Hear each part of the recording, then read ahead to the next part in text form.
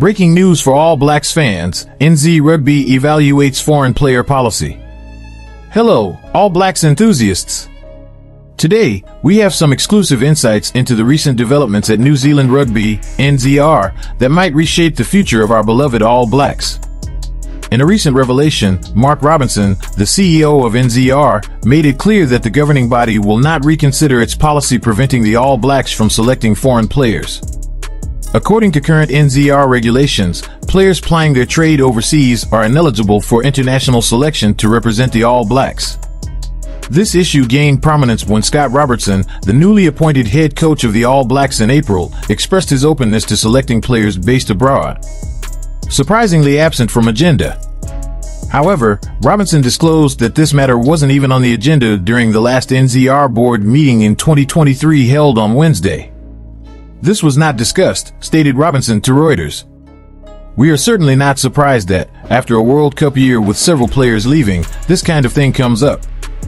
We are very clear in our protocols, and we believe they have been a critical part of the All Blacks' success for a long time. But we also recognize that the world is changing, and from time to time, these discussions need to happen. Experienced All Blacks heading overseas. Several seasoned All Blacks have left New Zealand to pursue lucrative offers from foreign clubs following the recent World Cup defeat to the Springboks in France.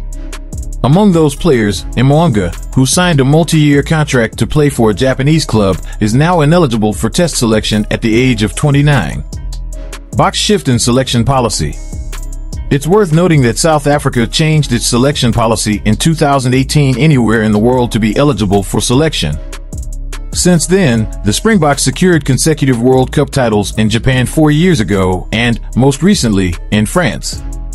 Australia also restricts the selection of players based overseas, with coaches Eddie Jones and Dave Rennie allowed to pick only three foreign-based players during a series or tournament. As the world of rugby evolves, so does the conversation around selection policies. Stay tuned for more updates on this intriguing development that could impact the future composition of our All Black squad. Remember to hit that subscribe button to stay in the loop with the latest All Blacks news. Until next time, keep the black flag flying high.